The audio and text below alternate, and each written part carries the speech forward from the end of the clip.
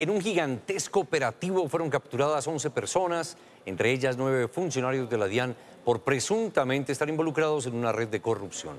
Según la investigación, simularon la destrucción de maquinaria decomisada que en realidad habría sido comercializada. Durante dos años y medio, integrantes de la Policía Fiscal y Aduanera, con apoyo de la Fiscalía General de la Nación, identificaron una serie de irregularidades presentadas en el proceso de destrucción y fundición de mercancías que eran decomisadas por parte de la DIAN.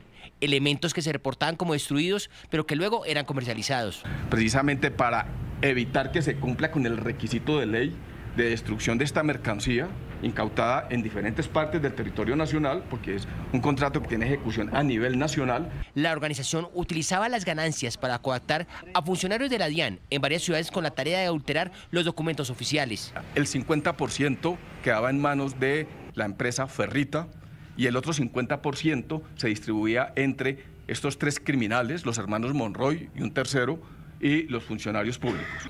Las capturas se realizaron en Bogotá, Barranquilla y Buenaventura, donde fueron puestos a disposición de la Fiscalía. Esto puede acarrear penas para los funcionarios de 8 a 15 años y para los particulares de 15 a 30 años de prisión. En los últimos dos años, la Policía Fiscal y Aduanera ha capturado a 35 funcionarios asociados a la comisión de delitos y hechos de corrupción.